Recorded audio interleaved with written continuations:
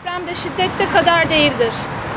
Dünya kadınlarının tarih boyunca kadının insan haklarını ihlal eden düzenin değişmesi, eşit ve şiddetsiz bir yaşam için haykırdığı 8 Mart Dünya Emekçi Kadınlar Günü'nü bu yıl depremin yıkıcı gölgesinde kaybettiğimiz canlar için mücadeleye devam ederek karşılıyoruz.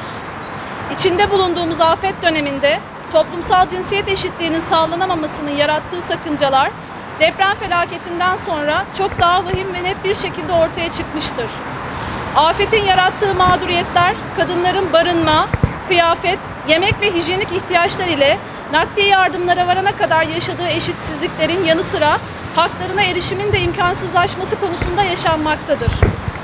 Geçtiğimiz bir yıl içerisinde kadınların haklarına erişimi için atılan adımların birer birer geriye gittiğine tanıklık etmek zorunda kaldık. Toplumsal cinsiyet eşitliği temeline kurulu İstanbul Sözleşmesi için alınan yargı kararları, henüz oyuncaklarının ayırdına varamayacak kadar küçük yaşta bir kız çocuğunun sözde evlilik adı altında yıllarca istismara maruz kaldığının gün yüzüne çıkması, mevcut yasaları uygulamak yerine kadınları ayrıştırma amacı güderek yapılmak istenen anayasaya değişikliği ve artarak devam eden erkek şiddeti nedeniyle katledilen onlarca kadın hepimize haklarımızı korumak için daha fazla mücadele etmemiz gerektiğini göstermiştir. Bu sebeple kadınların derinleşen mevcut sorunları karşısında hak savunucusu olarak biz kadın avukatlar toplumsal cinsiyete dayalı şiddeti önlemek için mücadelemize devam edeceğimizi bir kez daha haykırıyoruz.